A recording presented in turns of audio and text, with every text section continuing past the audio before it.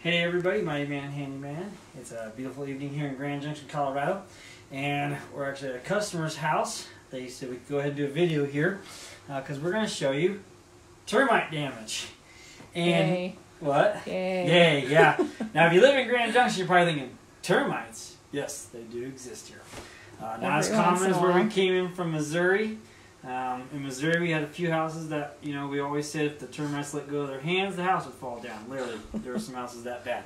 True. Um, so this is actually not that bad. So if you want to come on in, I'm going to show you what it looks like. Now we took the sheetrock off.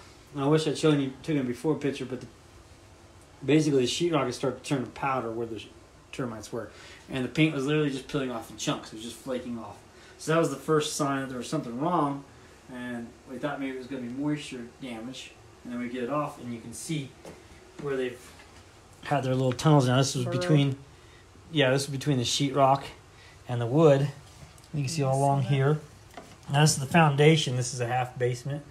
So this is the foundation. Here's the wood seal, um, and that's where they're coming in as between there and there. Um, I'm going to show you this. Come over here. So for those who've never seen a termite before, I'm going to show you a dead one here. If I can get it. There you go. That is a dead termite right there. Kind of looks like a maggot or larva.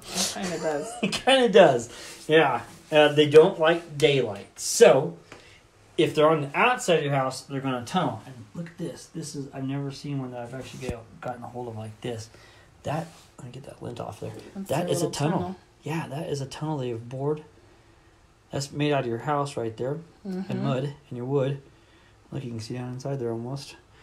That is a termite tunnel.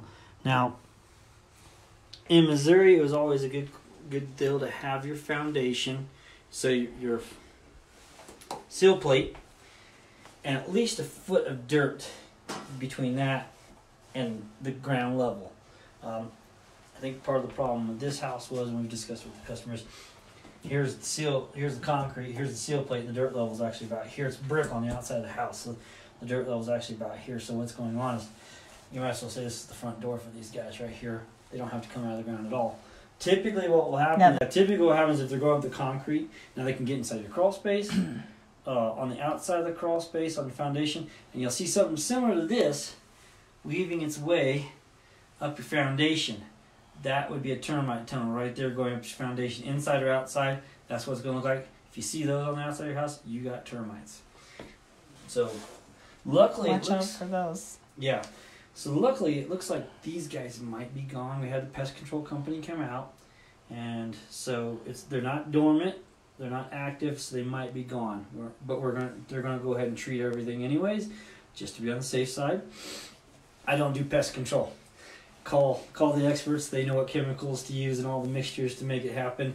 And they're going to use some tube things they stick down the ground that has uh, like cheese from ice it attracts them to it. I don't know what it is, some chemical in there and it attracts them. So hopefully they'll go to that if there's any left underneath here, and they'll go to that, and that'll be in them. But I wanted to show you this, guys, because we do have termites here in Grand Junction. So tomorrow we're gonna get this is gonna be treated. We're gonna put new insulation in here. We're gonna put some new sheetrock up and start fixing this all up again. Uh, the guys will be working on that tomorrow. But just wanted to show you that. Look at that. And it, this isn't that bad, guys. I've seen way worse. So. Thankfully, they haven't started eating the wood really They have. bad. I've seen them turn wood into where you can stick your finger through it, and it's that soft. So this is not bad. This is not bad at all.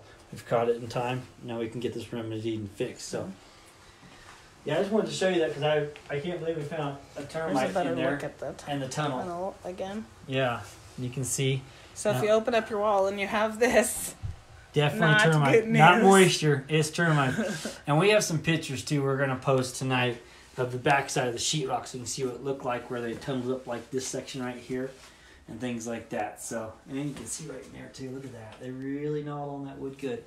can you see it right Look there? down inside that hole Oh, yeah. right there. Look at that. It's a tunnel. Yeah. Yep. So, I just thought that was interesting that I'd show that to y'all so you knew what you're looking at and you know that termites do exist here in Grand Junction. Uh, they pretty much exist anywhere in the world. They're Mother Nature's way of getting rid of dead wood. Mm-hmm. And your house technically is built out of dead wood. A lot So- of places we see termites usually are around garage doors. garage doors. I I was down at the hardware store. I was talking to the hardware guy about some stuff to treat this with, and he was talking about how they ate up his door jamb, and literally the paint was the only thing holding it together, and the door fell out of the house. Oh my word. Yeah, yeah, it just boom, shut the door and it fell out, and there was no wood left.